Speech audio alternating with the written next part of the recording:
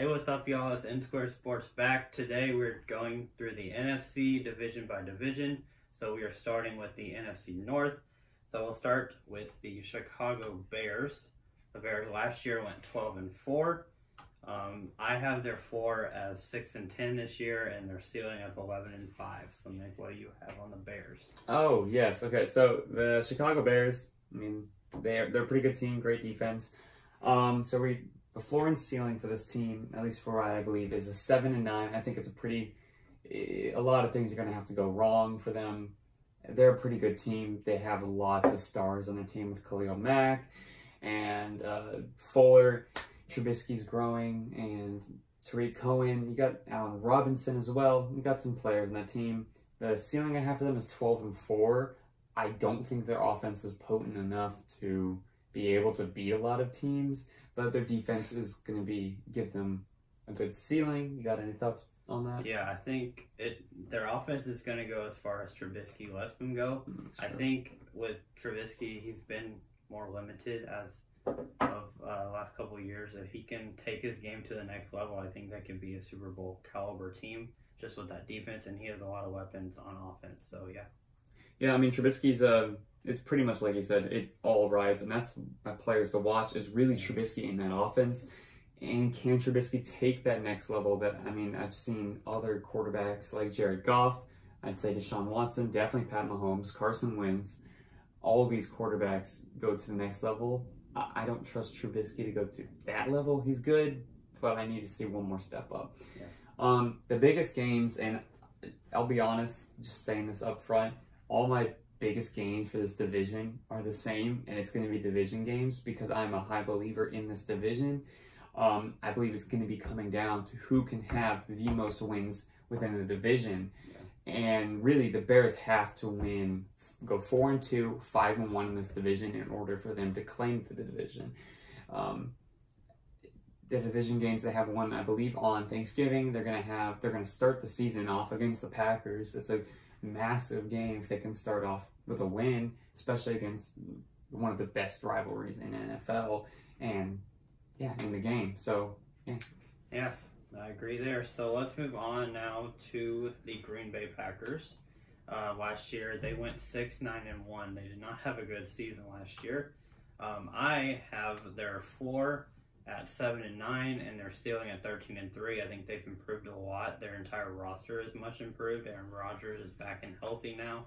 So yeah, what do you think about the Packers? Yeah, six and 10, 13 and three is my ceiling floor for that. I pretty much sort of what you said. Rodgers is going to determine this, and especially the new coach Matt LaFleur.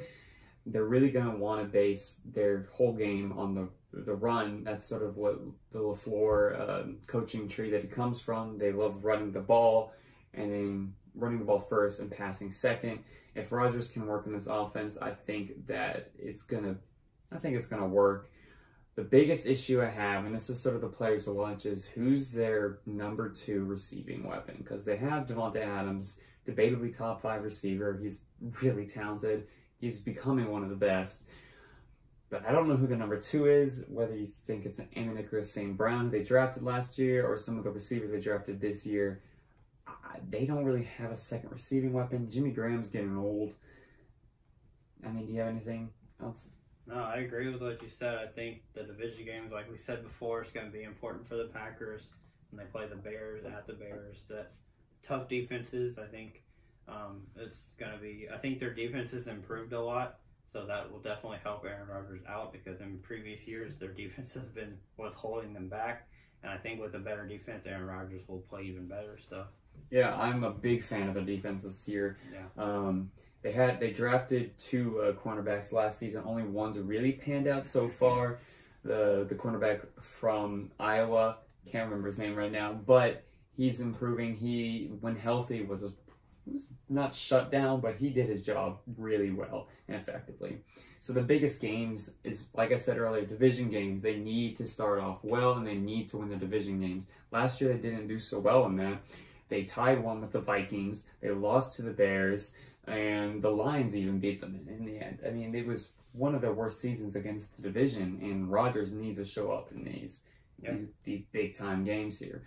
Um, that's really what's going to define their season and take them probably from that 6 and 10 to 10 6, which is probably a pretty accurate representation of their season.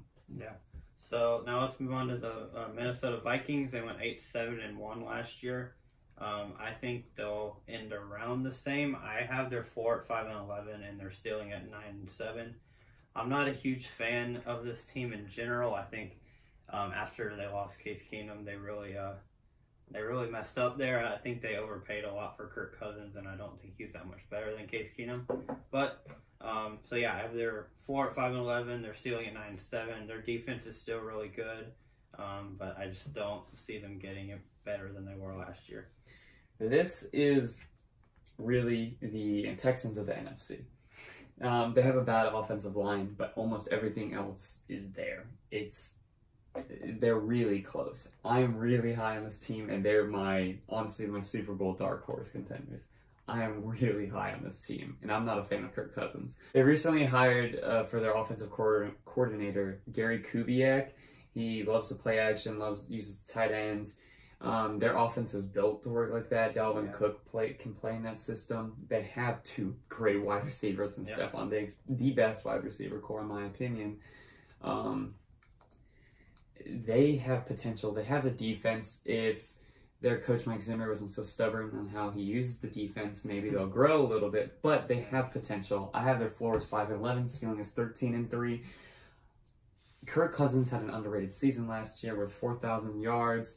30 touchdowns, 10 receptions. That O line held him back, and I'm a strong believer on that. And I believe if he had a little bit more of an uh, offensive line, which they did take steps to slightly improve, I think this team can compete with any in the NFL. I thoroughly believe that.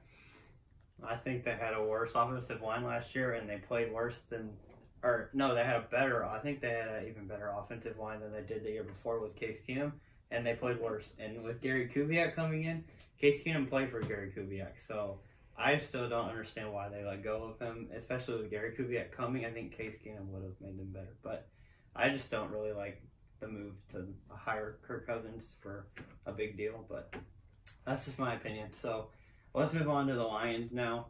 Um, I have their four as one and fifteen this year, Gosh. and their ceiling at only five and eleven.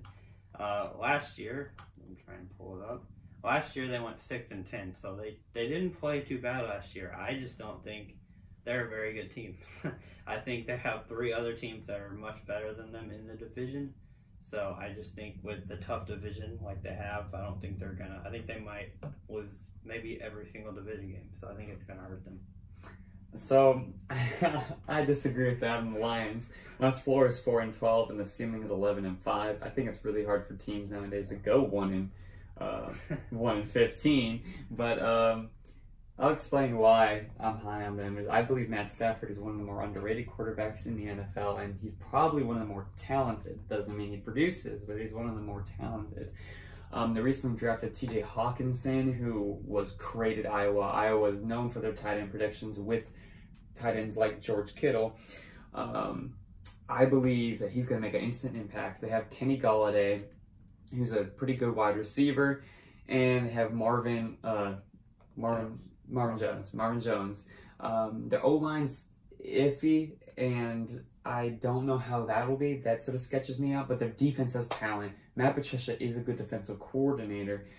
I believe this team can they can hold their own against a lot of their division opponents and a lot of the NFC opponents. The schedule isn't too hard. It's difficult in some areas. It's sort of on and off. I believe they're a team that's that has the potential to beat any team but lose to any team. That's how I would describe them. I they lost last year. They beat the Super Bowl champions, the New England Patriots. They got they blown them out. They blew them out. No chance. But they also got blown out by the Jets. That's pretty pathetic. Uh, this team is so on and off. It's hard to predict them. I just like Matt Stafford as a rebounding this year. He had a horrible last year, year last year, and this year I think him. I see him rebounding.